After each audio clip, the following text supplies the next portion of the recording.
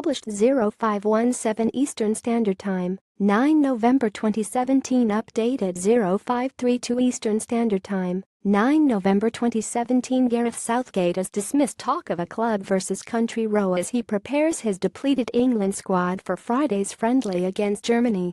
Tottenham trio Dele Alli, Harry Kane and Harry Winks were forced out of the initial 25-man squad with respective injuries, with Raheem Sterling, Fabian Delph and Jordan Henderson later following.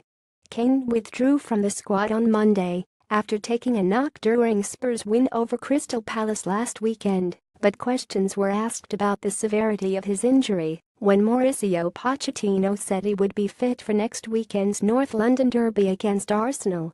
Gareth Southgate has calmed all talk of a club feud after numerous England squad withdrawals we've had to change plans because there was so much uncertainty coming in, but we've got the players we've got, and I've really enjoyed the week, Southgate said. New players coming in it's a great opportunity for us to look at them. Asked if he was satisfied that, that all the players who had withdrawn were genuinely injured, Southgate said yes, absolutely, Southgate has seen Harry Kane withdraw from international duty ahead of Germany clash Tottenham teammate Dele Alli will be reduced to another appearance in the Wembley stands Harry Kane I knew he was in trouble because he stayed down Harry Kane Dawson stayed down. Both him and Harry Winks were scanned, our medical department reviewed, and there is no way they're available for our two games. Spurs might risk them for the Arsenal game, that's a different matter.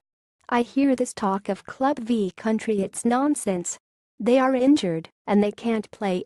In late March England played Germany in Dortmund, where that friendly match was marred by offensive chants about the world wars from a section of visiting supporters. Ahead of the latest meeting between the nations, Southgate condemned the rogue fans responsible for the songs and praised Germany for deciding to pay their own respects by wearing black armbands bearing poppies while Southgate insists he has no quarrels with club managers after supposed row we think it's completely unacceptable, the England boss said of the chance in March. We have a huge percentage of fans who follow us away, but there was an element shouting things that night that were unacceptable. We're talking about individuals. The vast majority of the supporters are brilliant. I think Germany have taken a huge step in terms of agreeing to wear the poppy John Stones is excited about the doubleheader against two of the world's best teams, with Friday's opponents boasting two of his Manchester City teammates in Leroy Sane and Ilkay Gundogan.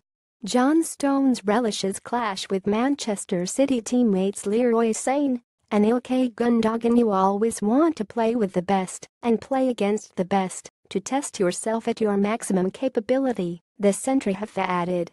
It always helps to have a bit of insight into how those players work. Bringing two world-class teams to Wembley is going to be great for the fans and a great opportunity for the players. We've done our research on Germany, but we don't want to overanalyze. It's about working hard on the training pitch and that's where the valuable time is spent. Whoever we come up against, we can go into the game knowing that we trained for it.